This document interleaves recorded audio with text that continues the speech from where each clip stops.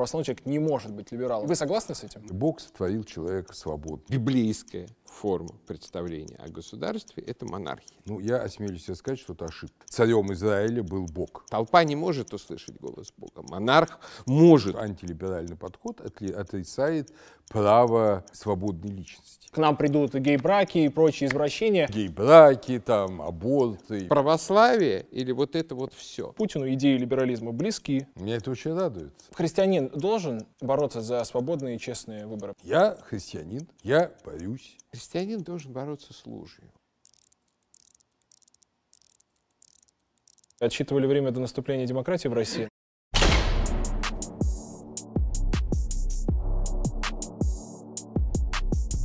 В российской православной среде а, устойчиво, на мой взгляд, а, такое мнение, что а, либеральная демократия это нечто антихристианское даже.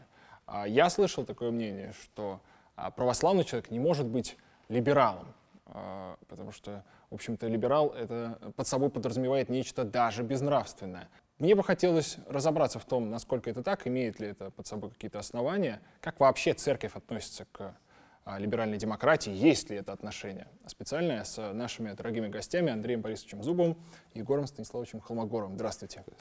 Андрей Борисович, для начала, что вообще такое либеральная демократия?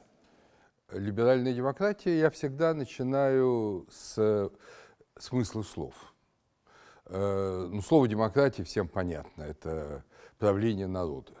То есть это та система, которая еще с эпохи Аристотеля противопоставлена аристократии, правлению избранных, и монархии, правлению одного. Э, Что касается слова «либеральное», это слово не греческое, а латинское, и оно имеет э, в латинском языке э, понимание, звучание как «либералис». Э, «Либералис» это свободный. Свободный, в отличие от «сервилис», рабский. То есть либеральный – это тип свободного человека. Человек, который никому не подчинен, который действует самостоятельно. Вы также определяете либеральную демократию? Ну, давайте примем это в качестве рабочего определения, хотя здесь есть масса нюансов. Например, вот Ан- Андрей Борисович сказал, что Аристотеля монархии и аристократии противопоставляется демократия, а это не чуть-чуть не так. У него а, монархии и аристократии противопоставляется некий слой, название которого в истории не удержалось, под названием полития, то есть власть граждан. Правда. А демократию он именует, а, демократию он скорее именует властью толпы, властью некоторого неопределенного сообщества. То есть это очень важно, когда мы говорим о демократии, различать две принципиальных вещи. вещи. Первое – это власть четко определенного, по ясному критерию отграниченного сообщества, которое управляет самым, самим собой и своими собственными делами. И как бы власть некоторого неопределенного большинства, которая присваивает себе, скажем, имя народа. Ска- ска- ну, можем, например, вспомнить э, там э, знаменитую такую историю, вот как бы вот э, такой популярный клич а, в Чили эпохи Сальвадора Альенде, когда народ един, он непобедим, вот, а ему противостоит злая, зверская диктатура Пиночета. При этом, если посмотреть, например, на результаты выборов, которые тогда происходили в Чили, то большая их часть была в, в пользу скорее тех групп, которые поддержали в конечном счете Пиночетовский переворот, но тем не менее есть определенные силы социально-исторические, которые себе присваивают преимущественно имя народа. То есть они действительно, они все, как правило, прогрессивны. Они все, как правило, отрицают христианскую традицию. Они все, как правило, ну, ставят, скажем, разум выше веры. Причем как бы разум э, не в смысле, что называется, богодорованного разума, а в смысле определенной рационалистической системы в духе просвещения. И вот когда мы говорим о демократии либеральной именно в смысле вот этой вот целостной сцепки определенных как бы конкретных политических и идеологических практик и установок, мне кажется, что вот с, э, для- с этой исторической силой традиционной, традиция православная, правоканоническая православная церковь окажутся мало совместимы, ну, потому что они на противоположном. Чуть, чуть подробнее. А может ли церковь вообще э, как-то относиться специально к тому или иному общественному, общественно-политическому устройству? Ну нет, конечно, не может. И это мы четко выразили в социальной концепции, в основах социальной концепции Русской Православной Церкви, которая была принята на соборе 2000 года в августе. И как раз я был одним из авторов этой концепции, и мне совершенно ясно было, что нет, конечно, не может. Э, прекрасно Егор Станиславович вначале сказал, что он готов принять эту это понимание терминов как рабочее, и я предлагаю так и действовать, потому что, конечно, э, если мы будем входить в тонкости э, чисто аристотелева понимания в его политике, и тем более там есть эволюция термина, то это верно, все было сказано верно в начале. То есть, что это действительно идеал, это полития, демократия — это одна из форм, все формы несовершенны, монархия, э, аристократия, демократия — несовершенные формы, совершенная полития. Это все понятно, это все вещи ясны. Э, но во второй части своего выступления э, Егор Станиславович уже стал давать оценки там, обычно безбожное, обычно ставящее ум выше веры и так далее. Ну, понимаете, все по-всякому бывает и, естественно, зависит от людей. И э, сама по себе демократия — это власть народа, в отличие от власти некоторых. Э, либеральный, значит, термин либеральный мы об него обсудили. И, безусловно, для церкви приемлемы все политические формы, которые существуют в обществе при одном условии. При одном условии. Это условие заключается во внутренней свободе человека. Понимаете, Бог сотворил человека свободным по своему образу подобию, и обычно богословы считают, что именно свобода, свобода выбора, ну и свобода творчества, естественно, это те особенности, которые и отличают божественность человека. Человек божественен именно в этом, именно этим. И поэтому та политическая система, которая отбирает у человека свободу, она всегда достойна осуждения. Ну, сам по себе режим или там, форма правления, она может быть церковью осуждена. Ну, скажем, а, диктатура — это же политический режим. Церковь Конечно. может сказать, что это антихристианский политический режим? Э, если он отбирает у людей свободу, и заставляет людей, ну, скажем, вот большевистский режим, да, он отбирал, или нацистский, он отбирал у людей свободу и заставлял их подчиняться определенной идеологии, расовой или коммунистической. Э, в общем, церковь должна, конечно, сказать, что это антихристианский режим, но понятно, что большинство людей не решались это делать. Да. А вы как считаете, может церковь так или иначе оценивать э, общественно-политическое устройство? Ну, смотрите, а, а, мне, э, вот хотя Андрей Борисович, безусловно, один из участников составления социальной доктрины Русской Православной Церкви, у меня все-таки при ее чтении, изучении не создалось впечатление, что она ставит вообще а, политические формы вне какой-либо оценки церковной, нравственной и так далее. Все-таки, а начнем с того, что как бы все-таки библейская, каноническая форма представления о государстве — это монархия. То есть мы никуда от этого не денемся. То есть вот это вот это монархическое, а это монархическое начало, оно прописано в Священном Писании как главной нашей э, социальной концепции, оно прописано в Священном предании, оно проходит через столетия традиции православной церкви, и, соответственно, если мы все-таки исходим из того, что православное предание а, это не то, что, скажем, ну, исторически выдумали люди, которые находились под влиянием как бы некого общего христианского духа. Е если мы исходим из того, что оно и есть действие Святого Духа в людях, в истории, в церкви и так далее, то считать, что, грубо говоря, вот все то, что говорится о царе, о благочестивом царе, о православном царе и так далее, и в Писании, и в предании, это только как бы чисто человеческие явления, что это не то, что нам хочет сказать а, а, сам Святой Дух, мне кажется, это неверно. Прокомментировали бы. Ну, я, подождите, можно я, да, вы, можно я как бы продолжу свои тезисы.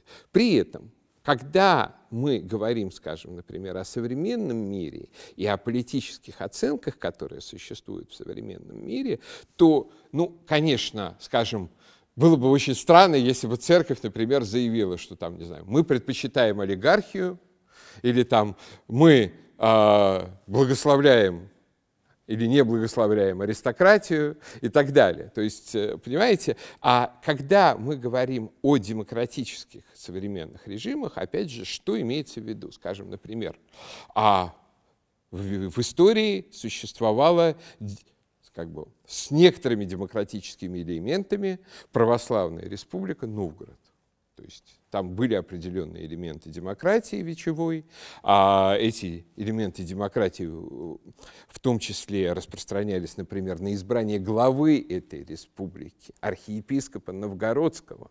То есть, понимаете, избирали себе владыку, предстоятеля церковного, и в то же время избирали себе главу государства, ну, достаточно демократическими способами, хотя со всеми, опять же, издержками вот этой вот, что называется, демократии толп, там в виде драк на вече, в виде того, что владык а, одних свергали, других ставили и так далее. Причем и свергнутые владыки с нашей, как бы вот из нашего сегодняшнего как бы взгляда, и поставленные на их место были святыми.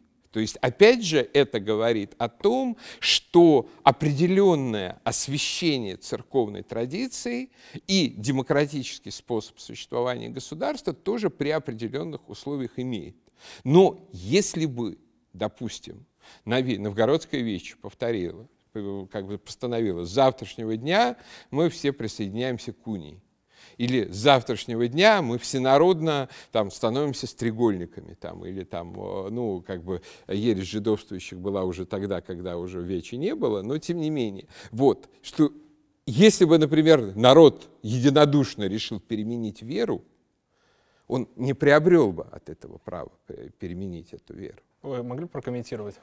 Ну, как всегда, я уже это вижу, Егор Станиславович, он затрагивает сразу целую палитру тем, э, это, конечно, затрудняет дискуссию. Э, разговор э, Егор Станиславович начал тем, что в Священном Писании освящена монархия. Ну, я осмелюсь сказать, что это ошибка. Это прямая ошибка, потому что, как известно, ну, монархия только в том смысле освящена, что царем Израиля был Бог. В этом смысле это монархия. А на земле это было, как известно, судейство. Э, и э, это было свободно. Каждый жил по своей воле. Два раза об этом сказано в книге Судей. Не было царя у Израиля, каждый жил по своей воли, потому что, если дословно переводить, потому что ему казалось справедливым. Э, и когда э, несколько раз э, сами израильтяне, скажем, Гидеона хотели поставить царем и других судей, они отказывались. Они говорили о том, что ни я не буду царем, ни дети мои не будут царями у вас. Бог отцов наших, царь Израиля.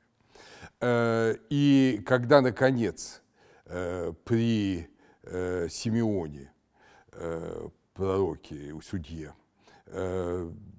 израильтяне захотели царя, как у других народов. Они говорят, мы хотим иметь царя, как другие народы. Пусть он ходит перед нами, пусть он вводит нас в битвы, потому что... Ну, почему мы хотим царя? Потому что мы сами собой управлять не можем. У нас убийство, у нас там описываются несколько жутких случаев, э, которые произошли в Израиле, гражданская война небольшая. Э, вот, э, и мы хотим, как все. Вот без царя мы не можем. И что тогда говорит Симеону, это не понравилось. Эм, и что он, он помолился Богу, и Господь ему говорит, так сказано в Писании, не тебя они отвергли, они меня отвергли. Но если уж они так хотят, дай им царя, но огласи права царя. И он оглашает права царя народа, так называемая э, Конституция Симеона, ее так обычно именуют богословы, что он будет э, отбирать у вас десятину вашего имущества, будет отбирать ваших юношей там, в армию, ваших женщин, девушек в гаремы или служ, служанками своими, он будет вами повелевать, вы не сможете ему возражать. Э, хотите? Они говорят, да, хотим. И вот даже после этого повторяется за, уже царю Израиля, говорит, что ты управляешь братьями своими. То есть ты не какое-то особое существо, которое стоит над народом, ты один из них. Но вот ты управляешь братьями своими, и, как вы помните, царская власть в Израиле, Ветхий Завет, она была, в общем, очень неудачной. Она была все время неудачной. Э, ну, Саула просто, естественно, отвергли. Э, царь Давид правил, но его большие грехи привели к тому, что его царство дрогнуло. Ну, к тому, что монархия не освящена Писанием. Ну, я... Э, да, ну и, наконец, я за, закончу. Все остальные цари после Давида просто были, в основном, ну, там за исключением двух имен, были просто грешниками, Э, которые наполнили Иерусалим кровью, которые были осуждены, против которых выступали горячо пророки. Поэтому э, царь скорее ругательное слово в Ветхом Завете. Да. Сердце царева в, русской, в, рус, в руце Божией. Конечно, это такое страшное ругательство. Но я, здесь я с Андреем Борисовичем категорически не соглашусь. Здесь у нас уже на, начинается принципиальное, что называется, расхождение дискурсов. То есть э, как бы Андрей Борисович предложил, мне кажется, такой классический, как сейчас там а, иногда выражаются, не очень люблю этот термин, э, ортолиберальный дискурс, который исходит из например, того, что монархия вообще а, уравнивается с израильской монархией. В то время как в Писании присутствует множество других монархий, в то время как э, в пророческих книгах, например, э, говорится о том, что так говорит э, Господь помазаннику своему Киру, внезапно глава Персидской империи, язычник, оказывается помазанником, причем большим помазанником в каком-то смысле, чем действительно некоторые нечестивые иудейские цари. Почему? Потому что а, Андрей Борисович совершенно справедливо заметил, что принятие монархии а, израильским царством, иудейским царством, это как бы понижение планки по сравнению с властью Бога. Не по сравнению с властью там, судей или пророков или кого-то еще, по сравнению с властью Бога. То есть израильтяне захотели а, царей, как другие народы. Что такое, как другие народы? Достаточно вспомнить просто картину а вот э, Финикии, Палестины тех лет. Это маленькие вот такие вот царьки, письма которых, униженные египетскому фараону, сохранились во множестве в архиве Тель-Амарны. Это, в общем-то, такие, ну, что называется, мелкие князьки которые правили территории, там, не знаю, гораздо меньше, чем, допустим, древнерусские удельные княжества. Вот. А, и, конечно, хотеть такого себе царя, вот, вместо Господа, и вместо того, что, скажем, ну, в, на мой взгляд, явно мы видим в течение а, э, человеческой истории, что для как бы, своего орудия проведение воспитывают великую империю, там, а, персидскую, а, римскую, э, которая признается в конечном счете апостолом Павлом удерживающим. Вот. А не, ну и не говоря уж о православных империях, а не вот эти вот мелкие царства. Но, тем не менее, при всем при этом говорить, а, что царь — это ругательное слово в библейском лексиконе, во-первых, там задан образец идеального царя. Это царь Давид. То есть он такой вот вообще как бы один из духовных идеалов Ветхого Завета при всех его недостатках, о которых тоже можно вспомнить. Во-вторых, как в Новом Завете, как бы, а, это царь иудейский. То есть, понимаете, э, на кресте не было написано там, это судья иудейский, это президент иудейский, там, это премьер-министр, там написано слово «царь».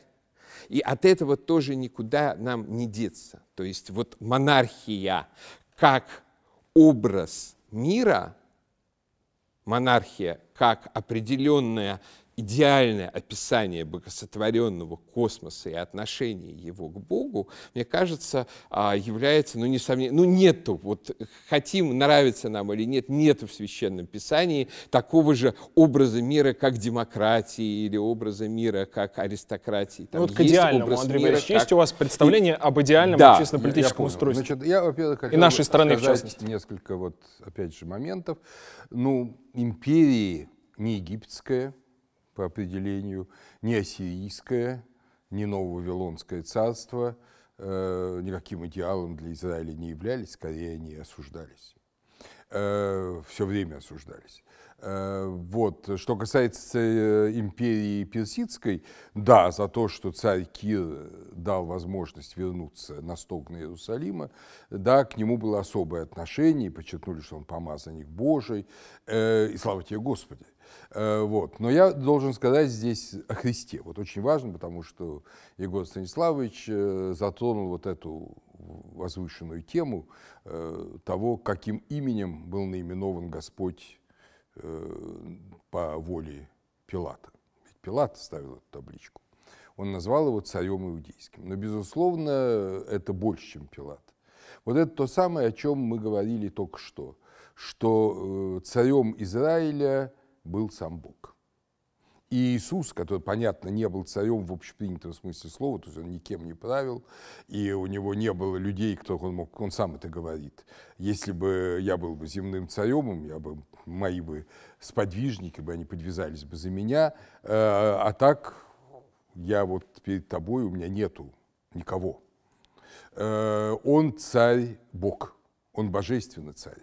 Он тот царь, которого отверглись ну, по сути говоря, которого отверг э, народ израильский, когда захотел себе царя при пророке э, и судье Симеоне.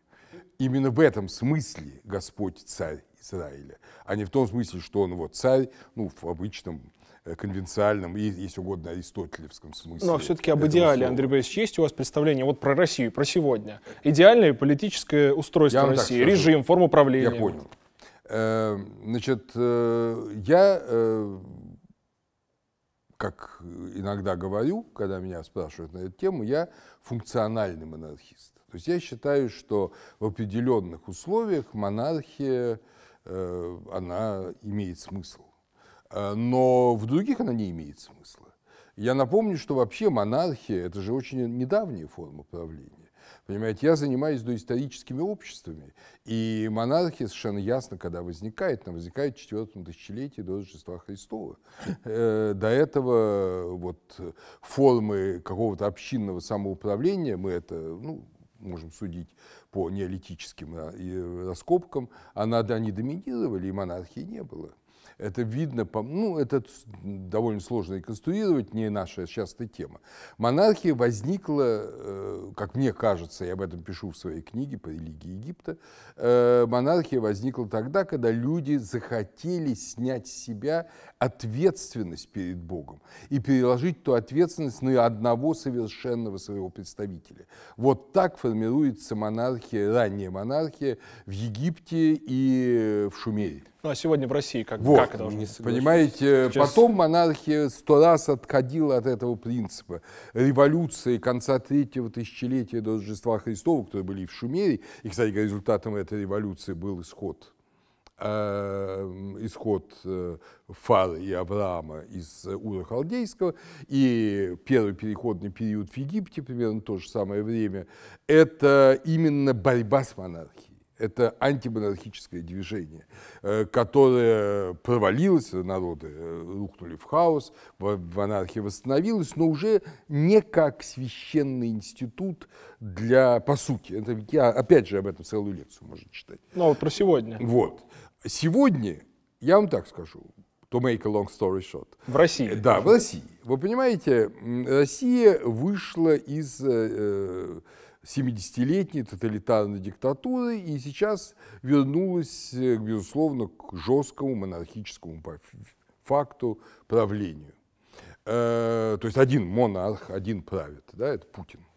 Э, и все страны, которые в 20 веке прошли период авторитаризма, это Италия фашистская, нацистская Германия, это Япония, они все после войны, когда решили перейти к демократии, они создали парламентское государство. Но в этом парламентском государстве может во главе государства быть монарх как некая идеальная, как в Японии, как некая идеальная фигура, которая вынесен за пределы власти, он ничем не управляет, но он символ нации. Это путь России. Вот, я бы сказал, что неплохо было бы, но здесь есть одно огромное но.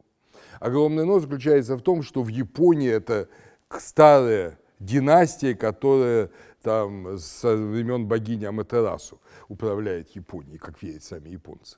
Вот. А что у нас? У нас самое большее, что может быть, это выбрать кого-то из династии Романовых, кто имеет, конечно, уже никаких прав по закону 1797 года он не имеет по престолу наследию, но условно его выбрать. Но он не авторитетен будет в народе.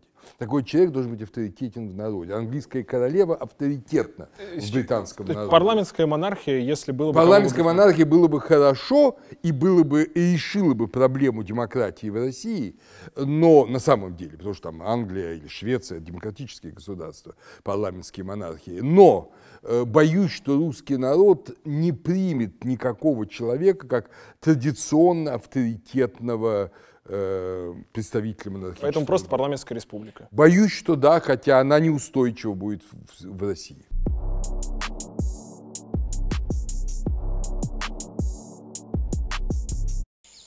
Эй, ухнем, эй, ухнем, еще разик, еще да раз.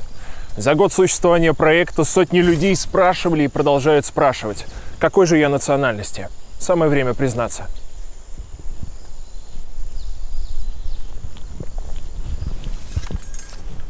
Я русский. И не только потому, что выгляжу я как простой русский парень, но и потому, что родился и живу в России, говорю на русском языке, а главное – принадлежу великому русскому культурному наследию. Важная часть этого наследия – косоворотка – уникальное отечественное изобретение. Косоворотка – это мужской русский национальный костюм. По мнению академика Лихачева, косой ворот, то есть разрез сбоку, а не как обычно посередине, появился на рубахе за тем, чтобы нательный крестик не выпадал у мужика во время работы в поле. Практичная, нужная вещь для человека прошлого. Или не только. Да, в 21 веке редко кого встретишь поле за сбором урожая. Средний россиянин скорее чакнет в пробке, параллельно решая свои рабочие вопросы. Мастерская Георгий Маркин подхватывает крутую традицию прошлого и создает стильные рубашки премиального класса, в которых и сегодня комфортно работать, отдыхать и наслаждаться каждой минутой. Российское искусство, военные достижения, спортивная слава, святые подвижники, ученые – все это наше богатое наследие, к которому мы приобщаемся, надевая косоворотку.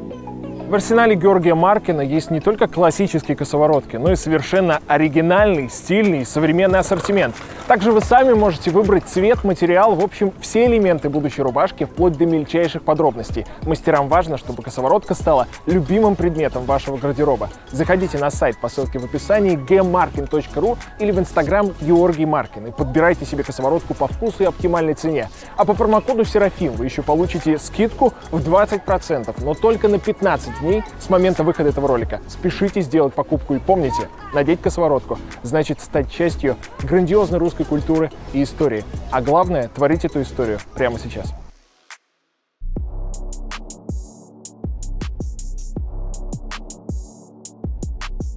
Егор Станиславович. Ну, смотрите, здесь есть несколько аспектов. Начнем с того, что нельзя вот как бы вот собрать а, из осколков монархию, а, есть прекрасный пример того, как это получилось. Это Испания.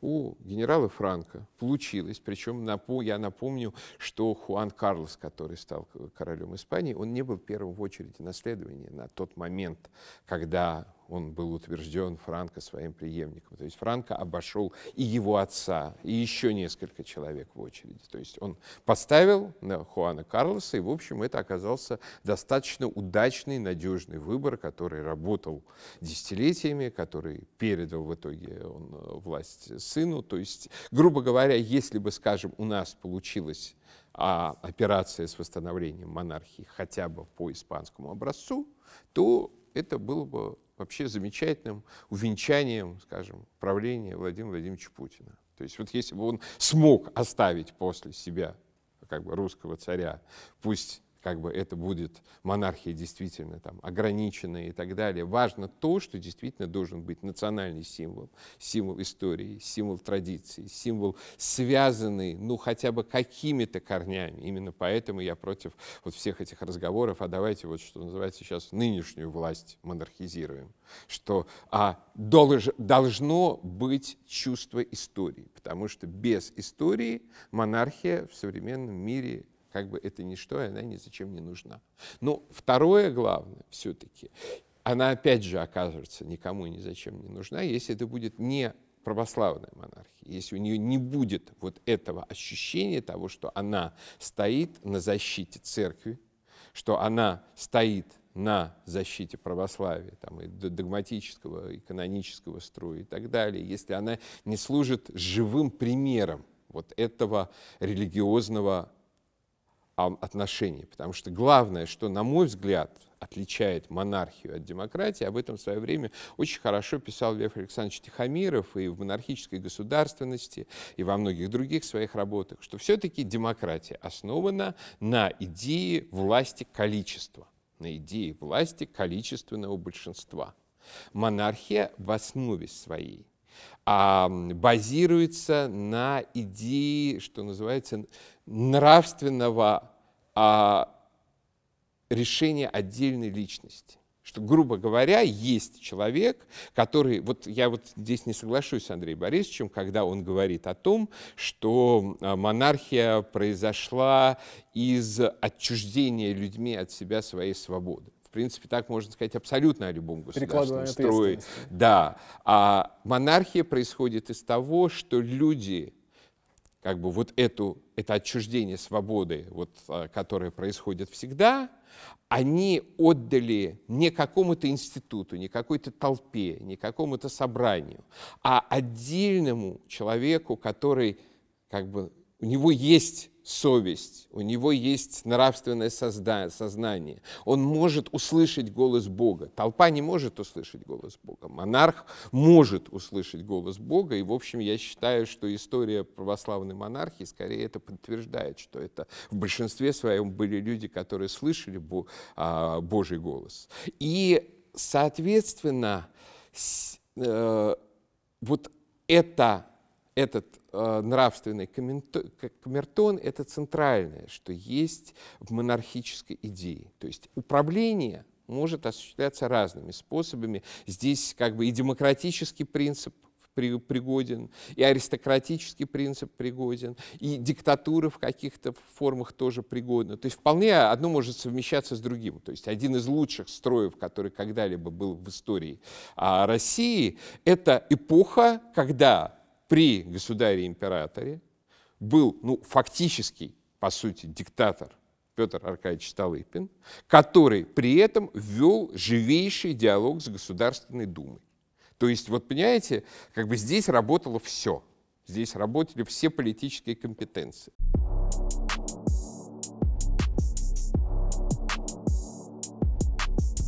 Андрей Борисович, а тот взгляд, о котором я сказал в начале, а, который я слышу время от времени, о том, что православный человек не может быть сторонником и либеральных ценностей, и либеральной демократии а, как таковой.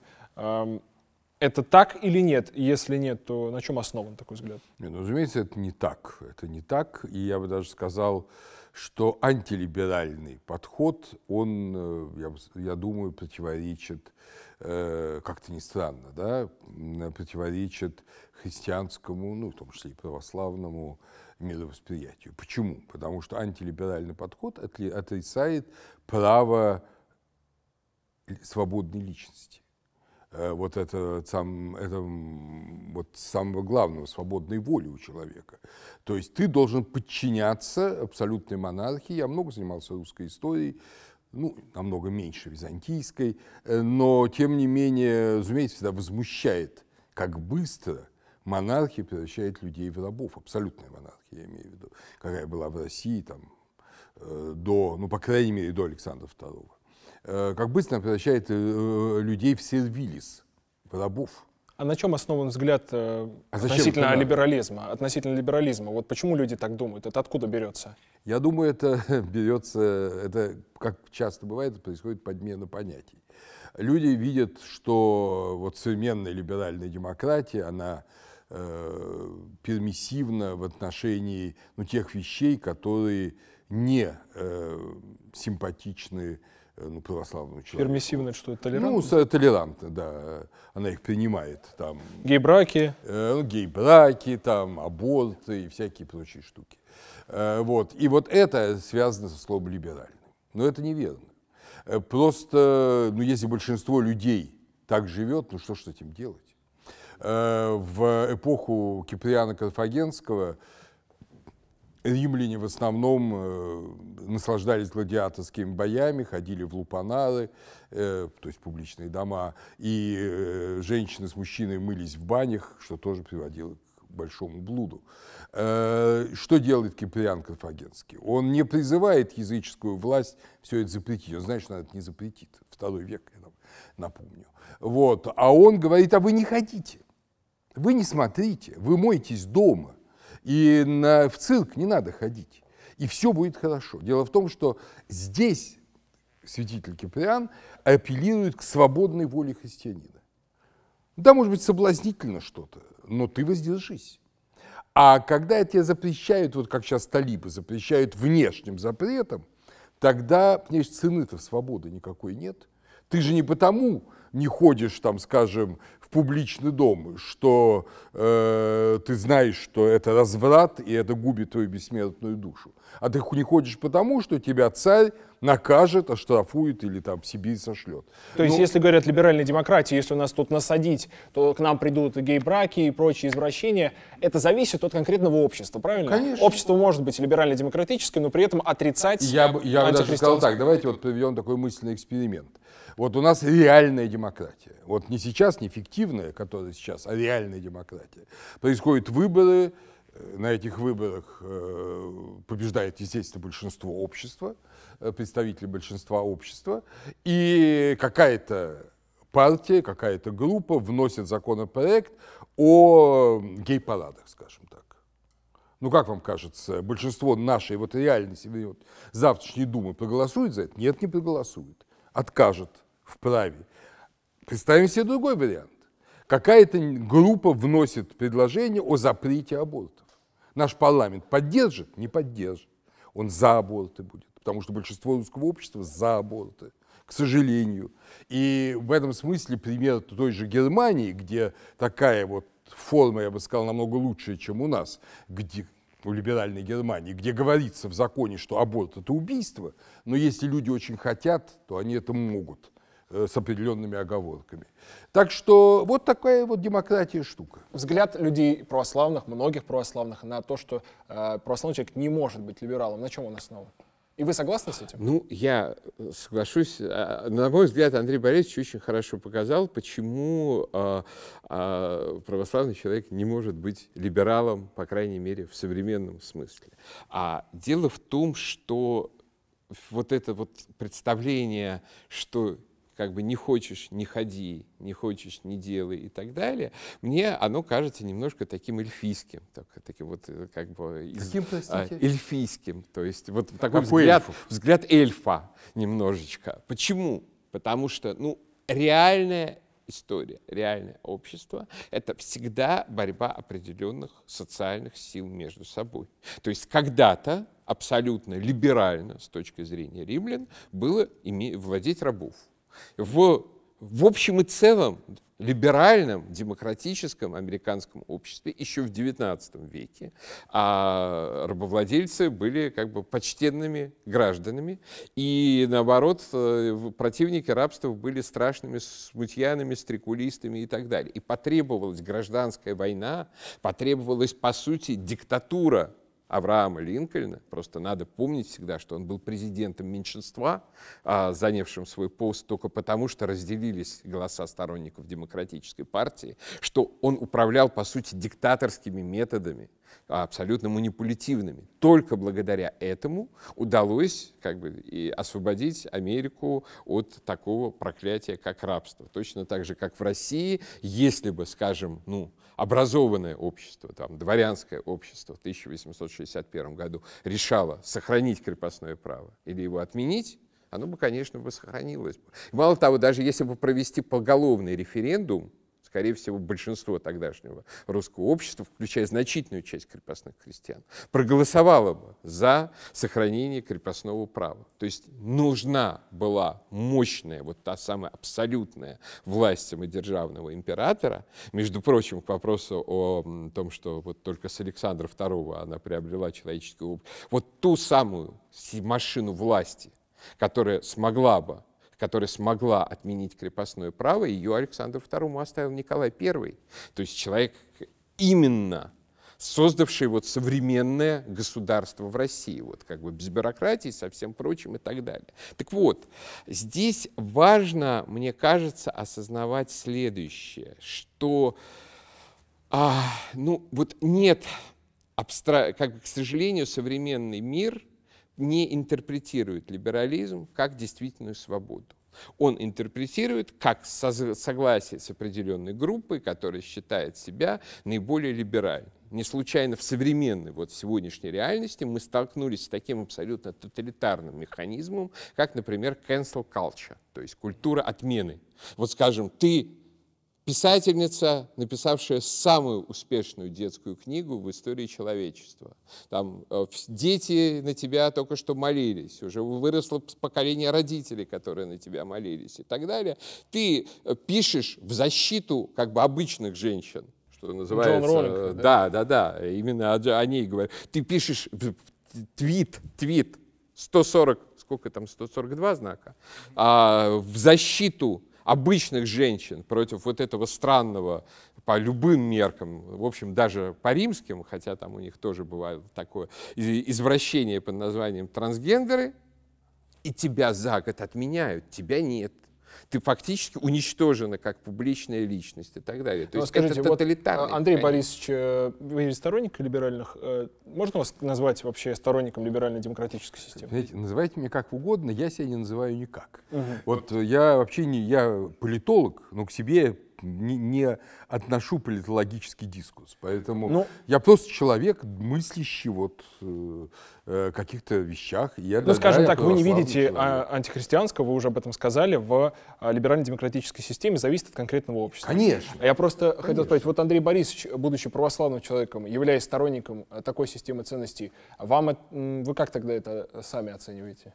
А, ну, в смысле, то есть, как бы, считаю ли я, что он не вправе э, придерживаться такой, э, как православный христианин, вот, как православный христианин. Ну, нет, понимаете, еще раз, еще раз, я подчеркну, а православный христианин, мне кажется, может иметь любые политические убеждения. Но только мне кажется, в какой-то момент те или иные политические убеждения по принципу сцепки приведут его к тем вещам, которые, на мой взгляд, ну, поставят в какой-то момент выбор. Что церковь или вот это вот все?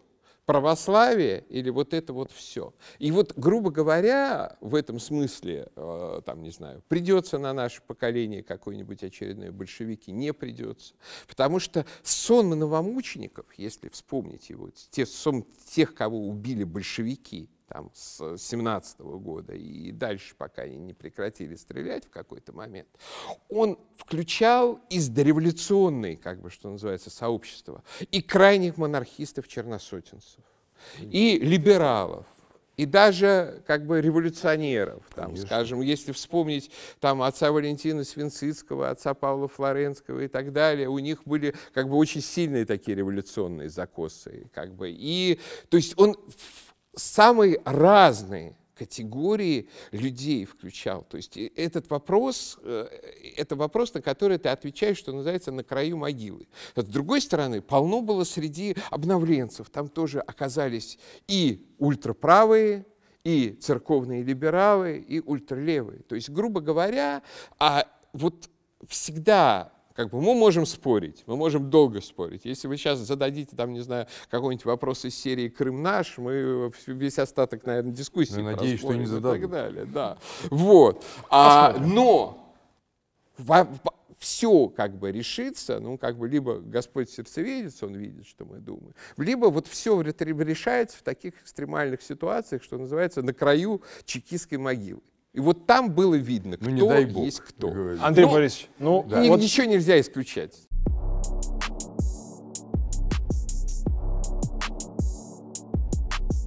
Вот Святая Русь. Да. Вот в России никогда не были, если не ошибаюсь, особенно популярны демократические идеи. Вот Новгород Егор Станиславович вспомнил. А, ну, Это о чем-то свидетельствует? Ну, подождите. Э, что значит не были популярны демократические идеи? Во-первых, демократии в современном смысле слова Э, я думаю, что до конца XVIII века вообще не было нигде в мире. Там, скажем, э, Венецианская республика, Генуэзская республика – это аристократические, если не олигархические республики. Также, собственно говоря, и Новгород, и Псков, ну да, можно с оговорками назвать демократиями Афину, тоже с огромными оговорками, потому что ведь э, в, демок... в афинское общество не были включены ни женщины, ни метеки, Э, то есть пришельцы, э, не тем более рабы. Э, так что демократия как таковая, вот современная демократия, это продукт ну, грани 18-19 века. Это теория демократии, да, была у Аристотеля, но практика именно всеобщая, она что же, когда? Э, я скажем, идеальной демократической страной является Великобритания, парадигмальной. Она может считаться страной всеобщей демократии с 1919 года, когда женщинам дали права голоса. Поэтому это на наших глазах становящаяся реальность. Реальность того, что все граждане равны. Не, в 19, в начале 19 века в Англии показалось бы безумием говорить о том, что люди, которые не имеют источников доходов надежных или собственности, они могут определять, кто будет от их округа выдвинут в парламент. А э, сейчас это норма. И в некоторых странах, вы знаете, например, в Швеции и Финляндии, даже не граждане получают право э, на местных выборах участвовать, потому что они тоже люди, они имеют вид на жительство, они живут в этом округе, и они могут определять свои не политические, это местные выборы, но житейские проблемы. А в истории Новгородскую республику можно назвать некоторым таким светлым ну, примером? Для... Ну, светлым. Я вообще избегаю для истории говорить о светлом. Так что можно назвать светлым примером монархии или аристократии? Мир человеческий отвратителен, и в нем э, зло, как правило, побеждает добро всегда во все века. Вот. Но да, на Новгород, который мы знаем не очень хорошо, Псков, который мы знаем лучше, Псковскую республику, да, это демократические образования. По крайней мере, Псковская республика – это демократическое образование. Что касается Новгорода, у меня есть все-таки большие подозрения, ну, там что там был аристократический элемент. Ну, собственно, как олигархический элемент на самом деле скрыт в любой реально существующей демократической системе. То есть везде политический класс представляет из себя олигархии. Это называется железный закон олигархии. Вот. Э, и ну, люб, ну, любая как бы, среда людей, которые принимают политические решения, которые управляют политическими процессами, это всегда закрытая, замкнутая среда. Вопрос в том, по какому принципу она подобрана. потому что, скажем, ну, например, в а, европейских таких вот демократических течениях, там, парламентских течениях XIX века, например, играли большую роль масонские институты, откуда, собственно, и возник вот этот вот миф о масштабном масонском заговоре. Там в XX веке это уже в меньшей степени так, в 21 наверное, уже совсем не так, но какие-то другие структуры существуют. Существуют какие-то манипулятивные структуры. Мы только что это наблюдаем в наблюдали в Соединенных Штатах когда там э, Трамп, будучи, в общем, э, скажем так, а, кумиром активных избирателей, столкнулся с тем, что кто-то называет это фальсификацией, но даже если это не была фальсификация, это была массовая мобилизация тех, кто обычно активным избирателем не является.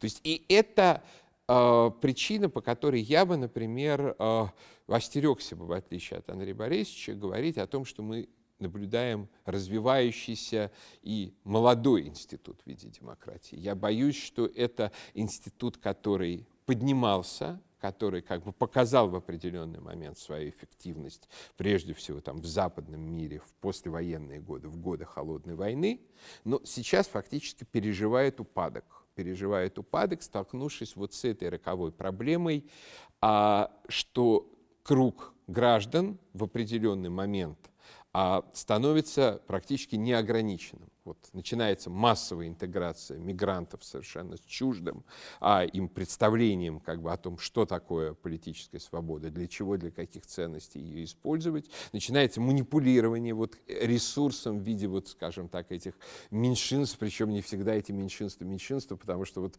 скажем, смешно говорить меньшинство же женщин, в то время как их большинство во всем мире. Тем не менее. Вот, то есть а, Наиболее честной, справедливой и прозрачной системы нельзя назвать демократией? Это все скорее э, а, бирки вот, такие? Вот смотри, не, категорически нельзя. Категорически нельзя. Именно потому, что демократия — это манипулируемая система. То есть в этом смысле, а, конечно, монархия гораздо большей степени честная и прозрачная система, потому что она основана на совести одного человека. Система манипулирования когда... демократии могли бы согласиться? Э, вы знаете, нет, конечно, я бы с этим не согласился. И вы знаете, я много изучал демократию, и у меня, собственно, докторская диссертация по парламентской демократии в странах Востока защищена. Э, демократия вносит удивительно интересные моменты. Да, конечно, реально различные политические группы, группы политической элиты, э, деньги, власть, авторитет, э, не одни деньги, они, в общем-то, борются друг с другом в обществе. Э, но при демократии эта э, борьба перестает быть подковровой, потому что они вынуждены и на местных выборах, и на национальных выборах выставлять себя перед всеми. А уж тут, конечно, фальсификации же нет выборов реально, Э, уж тут кто смог убедить избирателей в своей правоте. И, понимаете, вот как раз последние выборы в Соединенных Штатах, да, э, ноябрьские, нам показали очень ясно, э, что, ну вот не смог Трамп убедить в своей правоте большинство. Почти убедил. Но все-таки Байден убедил чуть больше. И в результате он стал президентом. Не то, что Трамп проиграл в чистую, а Байден выиграл в чистую. Нет, так вообще в нормальной работающей демократии, как правило, не бывает. Общество, как правило, разделено всегда почти пополам. И это, кстати, очень важный момент. Потому что оно вообще всегда разделено почти пополам. И в монархии разделено почти пополам. Но только это не видно. Всегда общество реформаторов и общество консерваторов, они более или менее вот 50-50. И как раз э, демократия позволяет этому балансу реально работать э, в том или ином государстве. Значит, если консервативные силы доминируют, страна перейдет от реформ к сохранению наличествующего. Если наоборот, страна будет реформироваться. В этом огромный внутренний потенциал развития. И этот потенциал мы сейчас видим в западных обществах, которые развиваются, конечно же, очень быстро.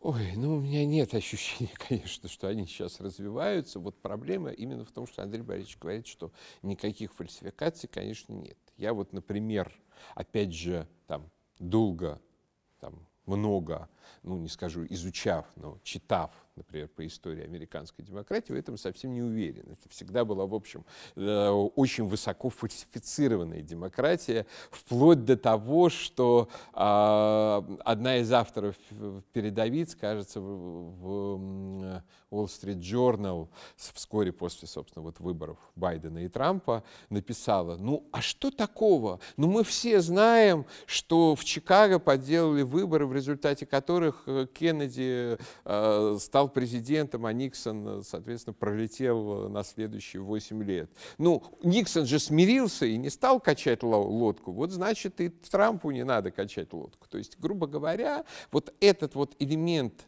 некоторой недостоверности, особенно при сочетании демократии с тайным голосованием, то есть как бы формально тайное голосование это как бы такая хорошая процедура, которая основана на том, что человек как бы не подвергается дальнейшим репрессиям за то, какой голос он выразил. Но все-таки сейчас у нас сравнительно либеральное общество, даже в России на самом деле, а в этом смысле общество достаточно либеральное в некоторых вопросах, как, например, в попытках добровольно убедить людей вакцинироваться, слишком либерально.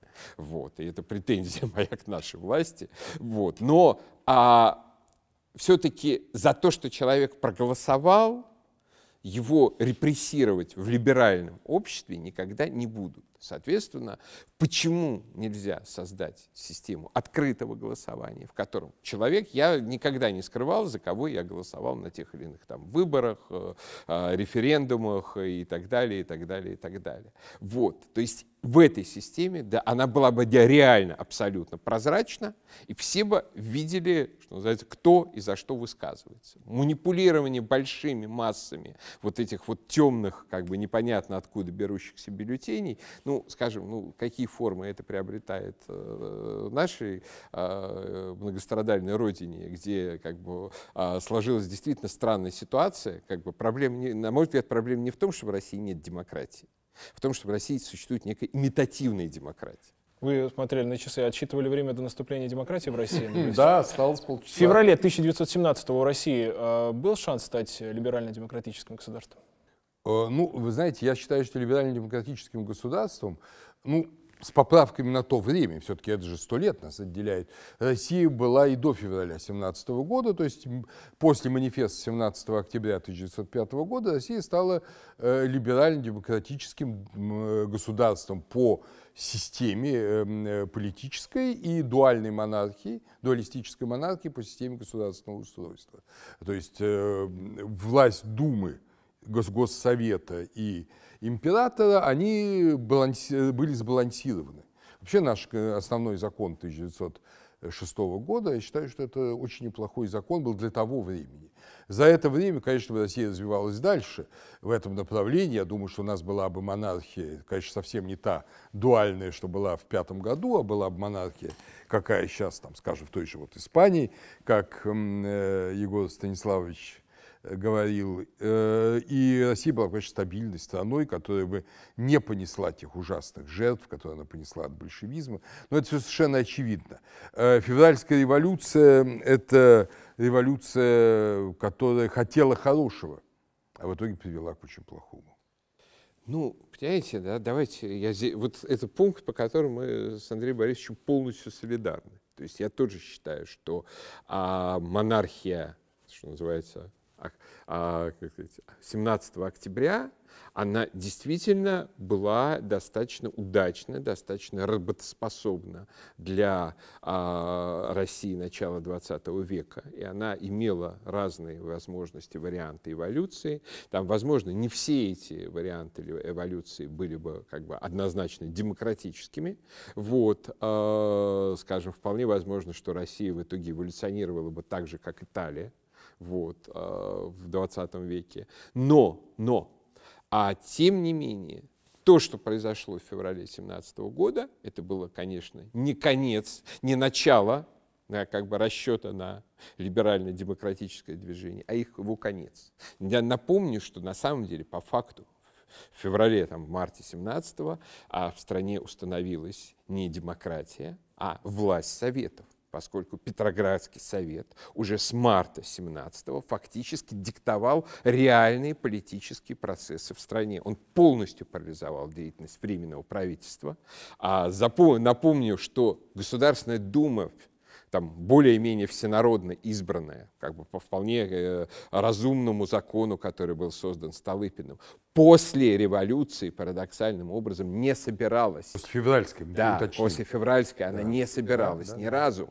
То есть фактически а, парламентаризм в России как бы до нынешнего этапа был в феврале 17-го уничтожен.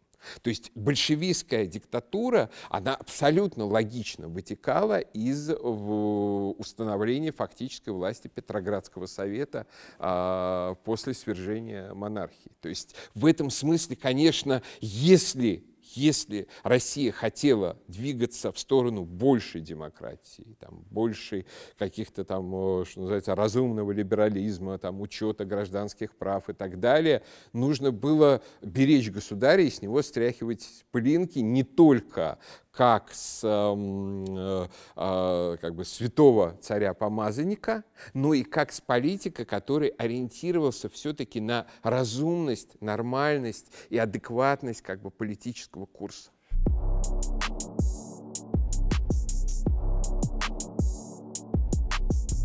У многих людей в нашей стране, я бы даже рискнул сказать, э, большинства из того, что известно, э, либеральная демократия ассоциируется с так называемыми лихими 90-ми, а, и все, что касается любой либерализации общества, а, является таким напоминанием о том ужасе, который был в 90-х. Во всяком случае, такая картинка э, в СМИ, ну и по рассказам, не знаю, моих родителей тоже в 90-х mm. было не сладко. Вот требуется ли а, реабилитация вообще либеральной идеи в российском обществе после того, что было в 90-е? Конечно.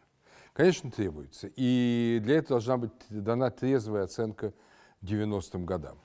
Дело в том, что э, в 90-е годы э, мы же не просто вот упразднили тоталитаризм и объявили демократию. Мы должны были выйти из тоталитарного прошлого. Выход из тоталитарного прошлого – это непростая вещь. И он, как правило, связан, ну, известна денацификация Германии, хотя выход из нацистского прошлого проще, как-то не парадоксально, чем из коммунистического прошлого. Проще потому, что нацистское общество не уничтожало религию, она ее подчиняла, но не уничтожала. Нацистская, прош... нацистская система не уничтожала собственность, она ее подчиняла, но не уничтожала.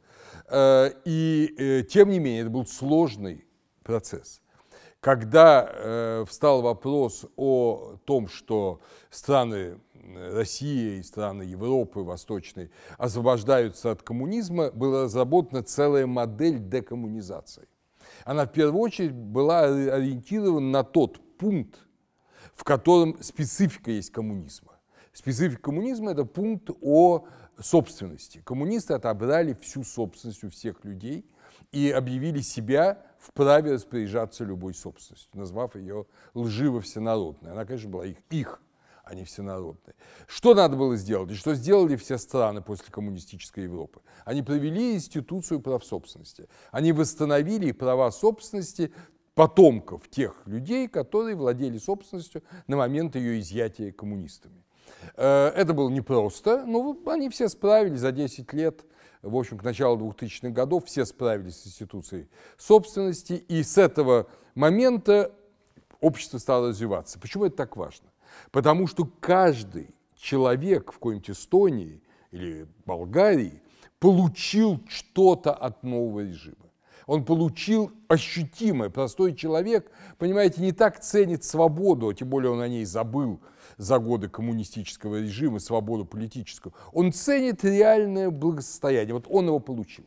А у нас всю собственность опять поделили между собой э, те, кто были у власти. И что получилось в итоге? те, кто захватили всю собственность, не их, как и большевики, а собственность, которая реально принадлежала потомкам ограбленных людей большевиками, эти люди, которые захватили всю собственность, нуждались в диктатуре, чтобы эту собственность удержать в своих руках, потому что любая демократия привела бы к тому, что эти процессы приватизации были бы пересмотрены. А большинство, не очень понимая, что произошло, прокляли этот режим, потому что он им лично ничего не дал. То есть были совершены системные ошибки. Я думаю, они были совершены не по злому умыслу, а потому что даже те реформаторы, которые их совершали, они сами были совершенно советскими людьми и мысли в этой системе. Э, вот поэтому э, необходима реабилитация не лихих 90-х, а надо сделать выводы из ошибок 90-х годов, чтобы при новом подступе к нормальной государственности, которая явно будет после конца нынешнего режима, э, вот не совершить этих ошибок вновь. А вы же были либеральным демократом, я читал, в 90-е, или клевещут? Ну, э, скажем так, до 93 -го года, я думаю, очень многие как бы считали себя демократами, да, вот. Но что произошло в октябре 93 -го? Фактически в стране установилось, я то, что сказал Андрей Борисович, переведу на как бы простой терминологический язык, клептократическая диктатура то есть которая а, была, себе уста... простой язык. а, была установлена а, при помощи как бы, расстрела все-таки избранного ну, по относительно демократической процедуре парламента вообще отказа от правовых механизмов при урегулировании конфликтов между ветвями власти. То есть там же был парадокс удивительный, что с одной стороны, да, на улице за парламент там были лимоновцы, баркашовцы и так далее, прочие радикалы, но при этом сама идеология вот этого парламента, она была абсолютно легитимистская и юридическая. Вот смотрите, вот по закону вот так вот, вот Зорькин, который у нас до сих пор возглавляет Конституционный суд, между вот он постановил то-то и то-то, почему Ельцин нарушает? А Ельцин действительно ну, ну, нарушал, наплевал все законы во имя революционной целесообразности. В чем состояла эта революционная целесообразность? Именно в том, о чем тогда говорили, даже прежде всего не Гайдар, а Чубайс. То есть вот мы создадим новых собственников путем, что называется, раскидывания вот этой вот собственности а, с вертолета, раздачи ее, своим, а, вот этих вот совершенно жульнических по своей сути ваучеров, которые, напомню, а, тогда э, людям не просто же, скажем так, их раздали, их уговорили вложиться в липовые паевые фонды, а затем были запущены вот эти вот всевозможные пирамиды, которые высасывали деньги, которые, еще остались у людей. То есть фактически было произведено полноценное ограбление. И поверх этого полноценного ограбления для защиты его результата была создана ну, слабая, но очень, как сказать, э, как сказать, пьяный мужик с э, розочкой из стекла, он, в общем-то, слабый, но только он очень опасен.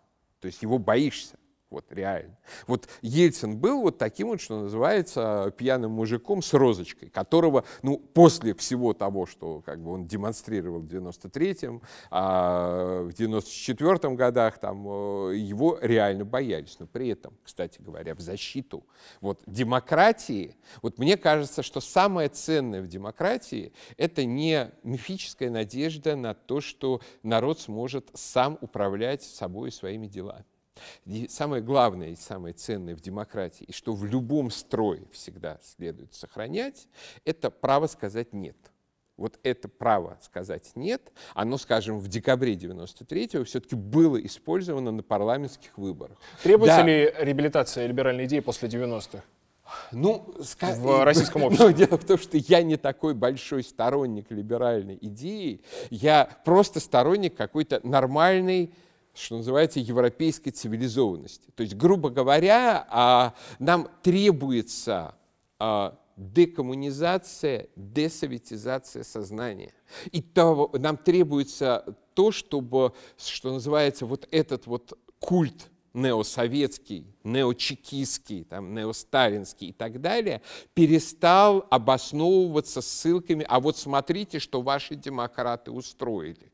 Начнем с того, что это устроили не демократы, а кандидат в члены Политбюро ЦК КПСС, там заведующий журналом «Коммунисты», все в том же духе, и заканчивая тем, что это, э, происходившее в 90-е по большей части противоречило как бы базовым принципам русской антикоммунистической традиции, противоречило идеям Солженицына, на а противоречила вот э, наследию белой иммиграции, белого движения и так далее. Я которые... даже думаю, что Андрей Дмитриевич Сахаров, если бы дожил бы, он тоже бы за многое бы был недоволен.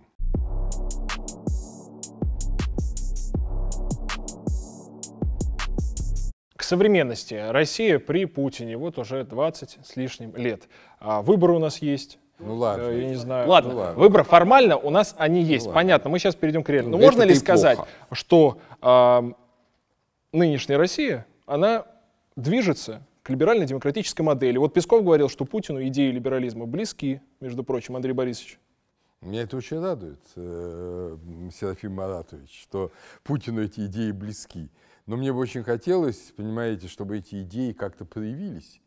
Э, Вот. Они, к сожалению, проявляются прямо противоположным образом. Какие же идеи либерализма, если он там дубинками дубасит молодых людей, которые безоружные, вышли на улицы, не сожгли ни одной машины, не разбили ни одной витрины, а с ними обращаются как врагами Отечества. Это я как преподаватель, как профессор этих людей могу сказать, что это преступление. И это, конечно, фарс, если Песков говорит о том, что Путину близки идеи либерализма. Понимаете, то, что мы видим, то, что мы видим, какие идеи у кого были, это другой разговор. Понимаете, мне очень интересны, какие идеи были у Александра Первого, у Николая Павловича, но м, важно, какие, каковы дела.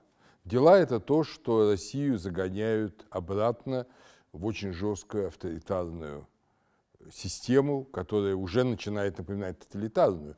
Я напомню для наших слушателей, что тоталитаризм от авторитаризма отличается тем, что при авторитаризме власти народу не дают, но, по крайней мере, не мешают ему свободно мыслить и говорить.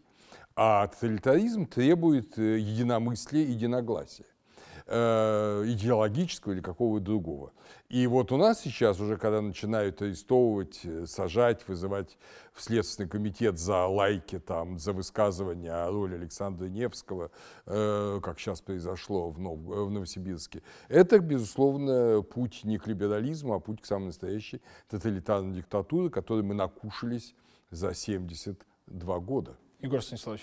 Ну, я считаю, что все-таки тот режим, который мы имеем 20, уже 21 год, уже больше 21 одного года, это, ну, как бы такая, опять же, с поправкой на то, что хотели как лучше, а получается как всегда, а все-таки в своей основе та самая национальная диктатура, о которой в свое время мечтал Иван Ильин, как некий переходный режим от коммунизма назад к более-менее здоровой России. Конечно, это может быть не лучший образец, но и не худший, судя по тому, что 20 лет мы имеем те самые Столыпинские 20 лет мира и 20 лет покоя и 20 лет относительной стабильности. За это время вырастает слой собственников. Это люди, которые построили дома, которые, что называется, разбили сады, вырастили в этой э, условиях стабильности детей. То есть, грубо говоря, это уже не вот то перекати поле, которым мы все оказались в 91 году. И вот из вот этого прочного фундамента и то, что, скажем, например, в идеологической сфере все-таки этот режим сдвигает общество к таким вот, я бы сказал, национально-консервативным настроениям. С одной, то есть одно время был приступ массового всеобщего истерического неосталинизма, там, наследием которого являются там, феномены типа Захара Прилепина и так далее. Вот. Но мне кажется, что именно сам режим сдвигает вот это как бы среднее общественных настроений скорее куда-то к императору Александру Третьему, памятник которому недавно, а, пусть там со шу- шумом и скандалами, но все тем не менее. Это открыли. благо, на ваш взгляд? Не Да, памятник, да, а сдвижение? Да, да, да, несомненно. То есть вот и когда собственники, что называется, выросшие вот с этим вот, с одной стороны, с ощущением своего, с, с- с- ощущением своего созданного своими руками, а с другой стороны, все-таки с ощущением уже какой-то там национальной традиции, самоуважения, а и вот в этом смысле любой, скажем, ну как, как бы выразились англичане, там джи- джингаистский что называется, а, перекос, который у нас порой действительно тоже бывает в пропаганде, иногда совершенно глупо это выглядит, но вот это сдвигает общие средние значения от того чудовищной самоненависти, которой страдало наше общество в 90-е годы, к вот, что называется, сознанию среднего, достаточно консервативного обывателя.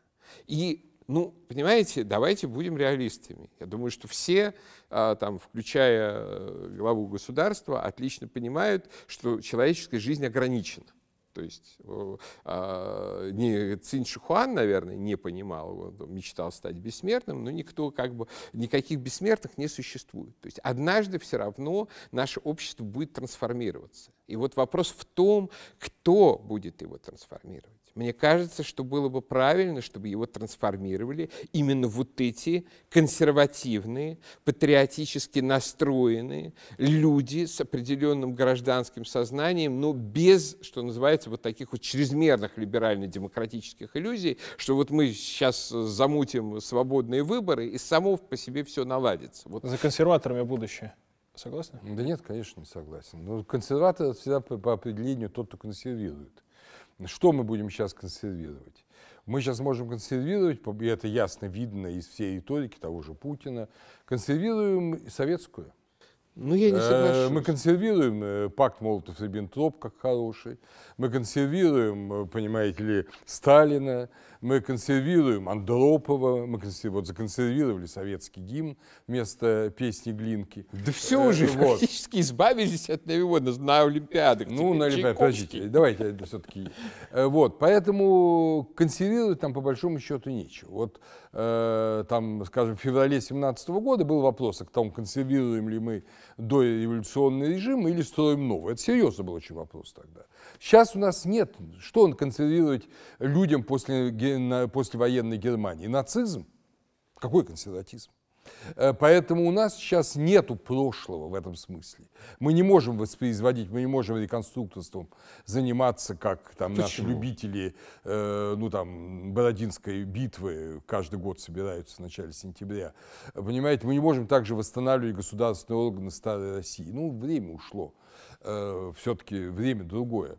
Поэтому нам надо стараться, опираясь на старое, которое действительно не тоталитарное, строить новую Россию.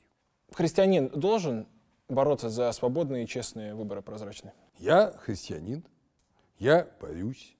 Э, я не говорю, что тот, кто не борется за них, его не должны допускать до причастия. Конечно, все мы можем подходить к чаше. Но для меня совершенно очевидно, что борьба за свободу других, а это и есть борьба за честные выборы, это мой христианский долг. Ваш христианский долг такой же? Христианин должен бороться с ложью. То есть, понимаете, я не буду и страдать как христианин, если у нас не будет, что называется, никаких там общегосударственных выборов а будет существовать какой-то другой механизм передачи власти.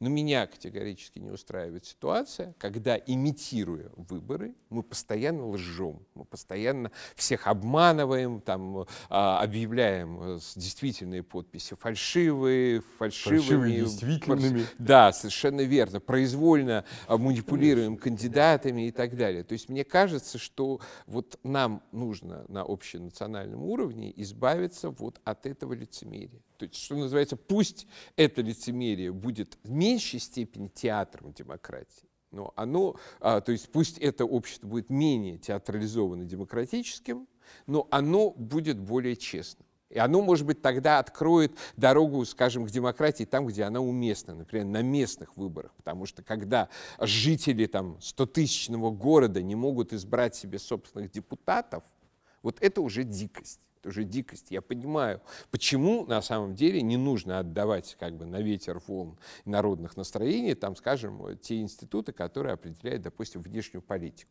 Россия страна с слишком большим количеством врагов, чтобы вот э, произвольно, опять же, в условиях того, когда огромное количество мы имеем а, примеров а, того, что в эти выборы вмешиваются извне, их используют для взлома политической системы, это же тоже все реальность. Но когда люди не могут избрать от своего района на несколько там, тысяч человек депутата, вот, это, это дикость, то есть этого не было, это не было при царе Иване Грозном который, собственно, создал э, вот губные учреждения, там, губных старост, там, избы и так далее. Это все же было тогда сделано.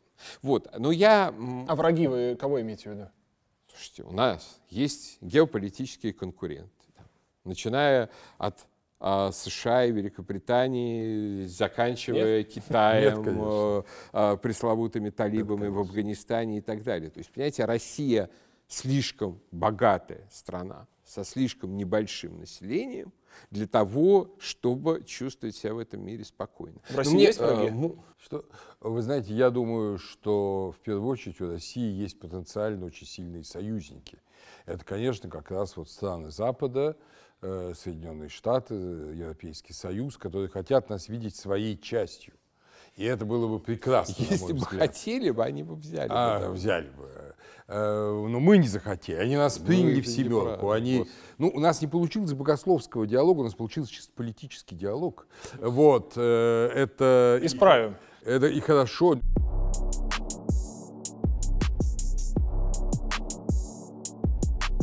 Почему в России нет христианской демократической партии? В России нет христианской демократической партии по двум причинам. Первая причина заключается в том, что опыта демократии как такового нет в России.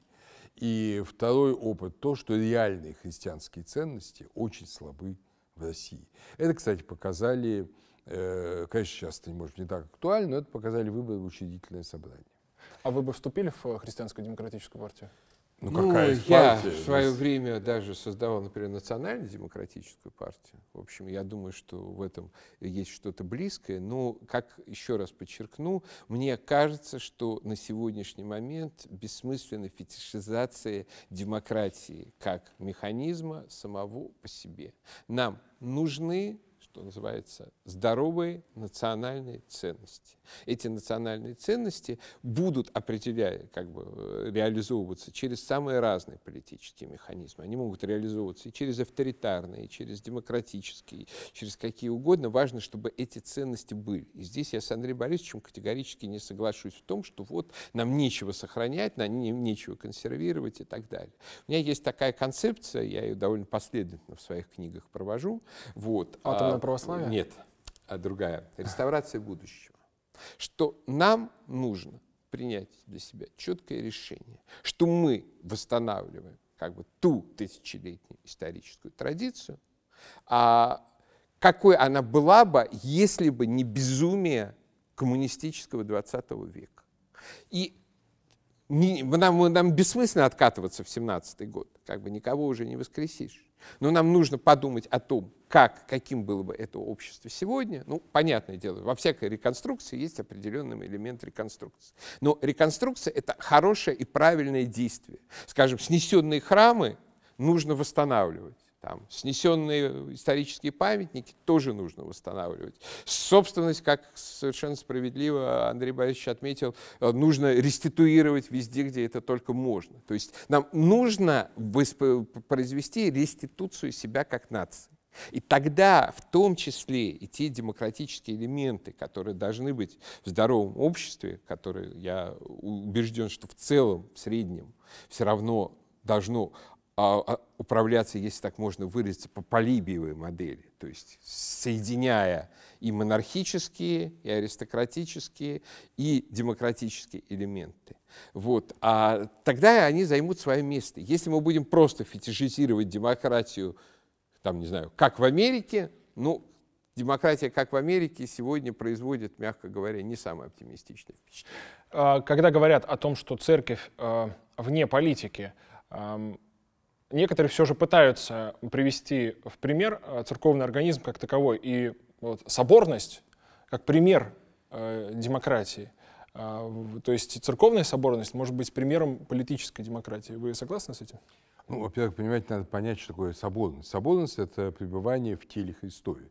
То есть, э, на самом деле, понятие соборность, экклесия, да, э, вот, воединую соборную церковь, это тело Христова, в котором каждый из нас является членом. Э, в этом смысле э, церковь соборна, она является органической структурой. Э, но характерно, что сама по себе членство в церкви, оно свободно. Вы понимаете, каждый человек добровольно или является членом церкви, или не является членом церкви. И добровольно, ну, более или менее глубоко входит в церковную жизнь. Понимаете, один только номинальный христианин крестился и забыл, а другой э, живет э, Христом, э, живет Евхаристией, живет вот этим хождением перед Богом и тем, чтобы людям отдавать себя ради Христа, исследуя примеру Христа. Понимаете, это все разные вещи и разные формы, разная органика. Э, у нашего тела церковного, у нее разные члены, более или менее глубокие, активные, более или менее христовые, скажем так. В каждом есть Христос, кто является членом церкви, но в разной степени. Может ли общество быть соборным? Понимаете ли, э, цели церкви ясны. Это обожение, это вхождение в образ э, троичного Бога. А цели общества не ясны. Один видит цель в геополитическом реванше, другой в восстановлении там, империи, третий в крайнем развитии свобод, четвертый я только что это говорил, в объединении там с европейскими и североатлантическими демократиями. Плюрализм. Да, пятый. Ну вот об этом я и говорю. Поэтому соборности быть не может. И именно поскольку не может быть соборности, и соборность всегда приводит к тоталитаризму, приводит к внешнему насилию над свободой человека, который по природе, ну, душой человек, который по природе христианка, и поэтому насилие антихристианская вещь. Э, государственное насилие. Вот, поэтому-то демократия, она замещает это. Те силы, которые в данный момент активней, влиятельнее, они побеждают и они проводят политический курс или в сторону Европы, или в сторону Китая, или в сторону империи и так далее. И если это не фальсифицированные выборы, мы с этим должны будем примириться, даже если нас с вами, мы с вами окажемся в меньшинстве, пусть в двух разных партиях, но в меньшинстве. Мы примиримся. И, может быть, даже, я скажу под конец, заключим коалицию ради того, чтобы общие наши ценности победили бы по сравнению с другими, которые одинаково чужды и э, Егору Станиславовичу, и мне. Про соборность. Ну, понимаете, дело в том, что а, в, скажем, в книге правил, я уже не помню, в каком именно правиле, но есть такое замечательное выражение «толпа ненаученного народа». Вот. И вот очень важно, чтобы у нас в любом деле, в церкви, в государстве, где угодно, была власть собора, который начинает свою формулировку со слов «изволися Духу Святому и нам». То есть на самом деле, скажем, собор — это орган Святого Духа. И тогда, когда он не является таковым, он сразу превращается во что, опять же, мы знаем из учебников истории церкви, в разбойничий собор. Вот. Причем иногда, скажем, разбойничесть того или иного собора выявляется не сразу, там, не через несколько лет, а через несколько столетий. Там, я не буду указывать на какие-то конкретные примеры, вот, но они тоже есть в нашей русской церковной истории, к сожалению.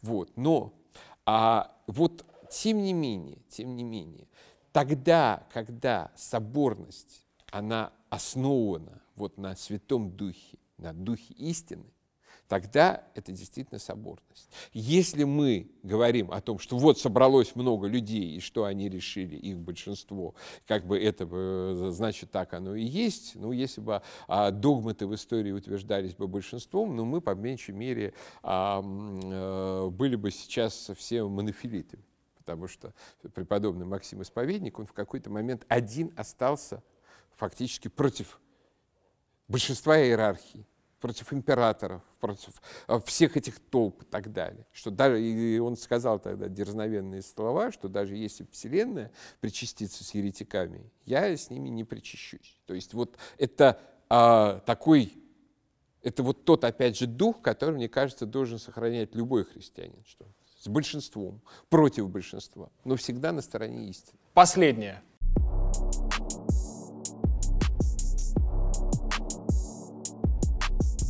Может ли русская православная церковь а, способствовать демократизации общества? Или, ну, например, говоря о а, свободе, о личной ответственности или любое развитие, каким бы то ни было, гражданских или политических качеств, это ни разу, ни в коем случае не дело церкви.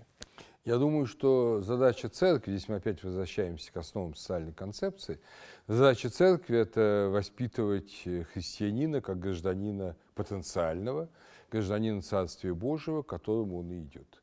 Вот эти граждане Царствия Божьего, они будут частью, к сожалению, только частью, но иначе не бывает, не все верующие в любом обществе, не все глубоко церковные, они будут частью политического сообщества. И дальше зависит от того, как они себя сами осознают.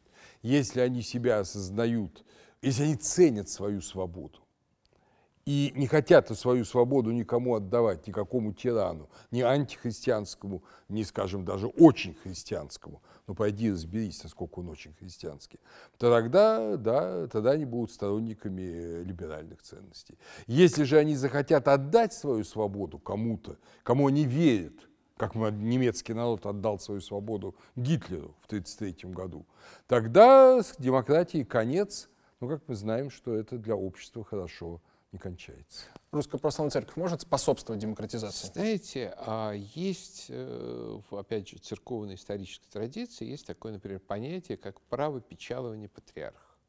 Мне кажется, что объективно все эти десятилетия, в, если, скажем так, у понятия демократии есть какой-то хороший смысл, то именно Русская Православная Церковь вот все эти десятилетия была самым демократическим институтом в нашем обществе, который действительно все-таки во многих ситуациях выступал голосом совести, голосом разума, голосом народа, который зачастую никак по-другому, кроме как там через священников, епископов, патриарха, не мог докричаться там, до власти. То есть есть э, многие ситуации, когда наши иерархии просто решались, а, скажем, делать или, наоборот, не делать то, что, что называется, государство а, категорически там требовало или, наоборот, категорически запрещало произносить какие-то слова. Я просто вспоминаю, например, как наш святейший патриарх Кирилл, э, например, начал употреблять слово «русский» постоянно. Тогда, когда все говорили только как попки «россияне, россияне, россияне, россияне, россияне». И это был, в общем, некий значимый как бы и нравственный, и общественный поворот. То есть в этом смысле церковь, в силу того, что она основана, мне кажется, на более здоровых принципах, чем как бы современная общественность, она объективно гораздо более, опять же, если оставлять за словом демократии только положительные коннотации, не вспоминая всех тех отрицательных, о которых я говорю, но в этом смысле более демократический институт, чем там значительная часть наших партий, общественных тусовок и так далее. Спасибо большое. В политическом смысле, мне кажется, важное достижение нашей программы, что Андрей Зубов и Егор Холмогоров готовы на коалицию. А в богословском смысле мы уже давно едины, потому что от одной чаши все-таки причащаемся. Мне кажется, это важно. Спасибо вам большое за разговор. Спасибо. Thank you.